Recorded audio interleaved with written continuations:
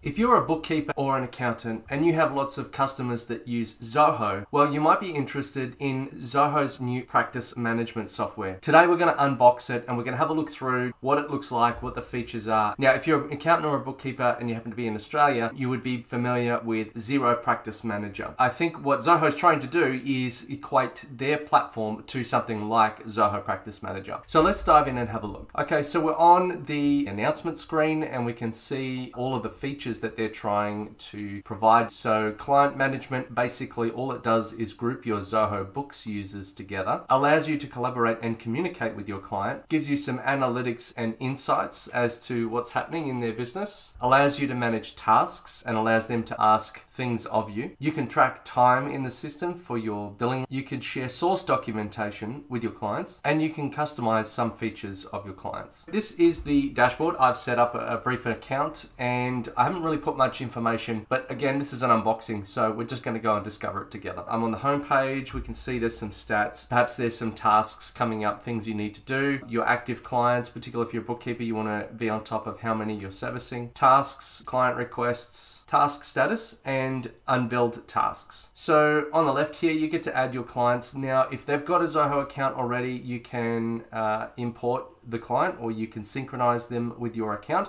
Otherwise, you can create a new one. Uh, and to do that, it's basically going to say, is it a Zoho or other finance application? For example, are they using books or are they using inventory or are they using some other platform? Then you can define some services. And once you set up their details, their time zone, their currencies, etc., then they'll get a portal where they can also provide you requests. So in the requests area, I go new and I go client request. And basically this might be, can you double check this or can you help me write off a bill or an invoice?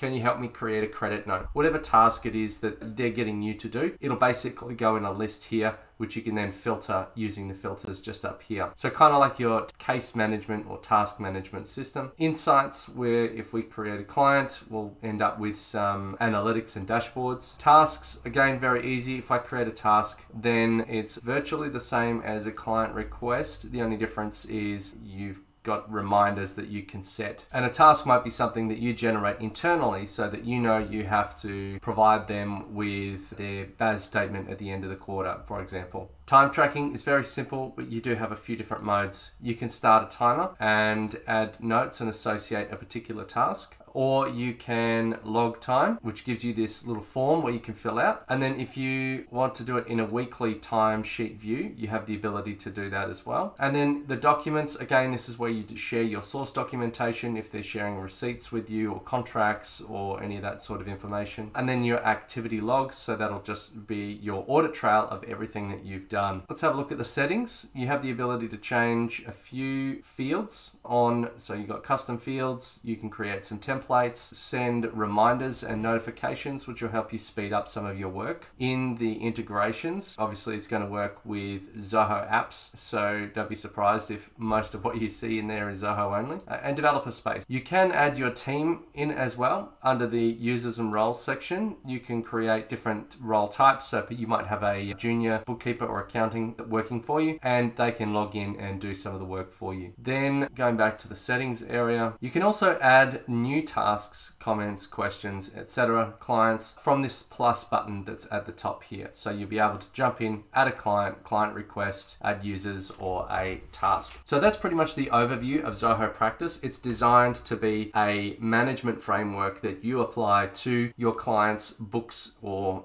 Zoho Books accounts so that you can roll up all the data or aggregate it into a parent entity just to see what you're doing, when you're doing it, how you're doing it, tracking your time on it so you can bill it effectively, and then manage your clients in a much more seamless manner. So again, this is kind of moving towards the direction of Zoho Practice Manager. It doesn't have a lot of the country localization that you would expect from something like a Xero Practice Manager. So making sure that you try this and make sure that it's okay for your circumstances. Otherwise, thank you very much for watching. Now we do have an online community where we do go through questions, answers, provide tips, resources, videos like this in our online community, which you can find a link for in the comments. Otherwise, go to community.relevate.com.au. Thank you very much for watching. Please subscribe, give it a like, and you take care.